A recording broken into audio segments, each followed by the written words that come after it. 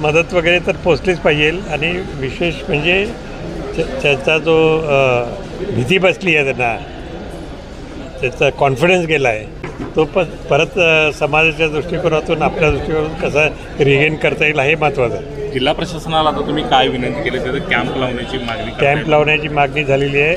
ताबडतोब कॅम्प रे refugee camp जसा असतोय तसा कॅम्प लावा. त्यांना अन्नधान्य प- ताबडतोब पुरवायला सांगा.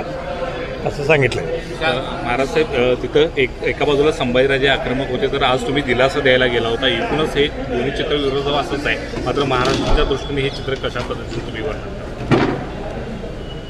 महाराष्ट्राच्या दृष्टिकोनातून हे बरोबरच नाही आहे कारण हे छत्रपती शिवाजी महाराजांच्या विचाराने काहीच इथं झालेलं नाही आहे हे मुख्य आहे. शि शि शिवाजी महाराज असते आता तर त्यांना कुठली पनिशमेंट मिळाली असती तुम्हाला माहीत आहे. इम्तियाज जलीलांनी एकोणीस तारखेला हे ते आंदोलन पुकारलेलं आहे. राज्यभरात त्याचा उद्रेक होण्याची शक्यता आहे. म्हणजे वेगळं वळण लावण्याचा प्रयत्न या सगळ्या गोष्टी. त्याचा इथला काही संबंध नाही.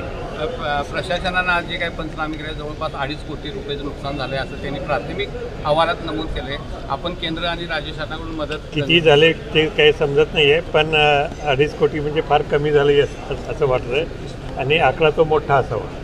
महाराज साहेब तुम्ही आज एका मुलीला तिथं जॅकेट दिलं का वाटलं ते हे सगळं काय तिथली परिस्थिती? या अंगावर नव्हतंच काही म्हणजे कमी होतं आणि पाऊसही पडत होता म्हणून दिलं. मदत मदत आणि पुनर्वसनासाठी आपण काय प्रयत्न? करणारच आहे ना. आणि आणि शासन नाही केली तर आपली ठर- ठरवलं आहे की कोल्हापूर अ, वासी आहे सगळे ते करणारच आहे. हे सगळं बघून तुम्ही भावना व्यवस्थ झालेलं पाहायला मिळते. एकूणच ते तिथलं दृश्य आहे. मनाला कुठंतरी वेदना होत. आहेत होतातच.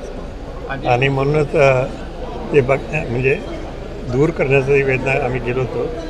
परंतु ती परिस्थिती बघितली की ती अशी परिस्थिती मी तर कधी बघितलेली नव्हती. अधिवेशन सुरू होते अधिवेशन सुरू होते. अधिवेशनात हा प्रश्न उपस्थित होणार नाही.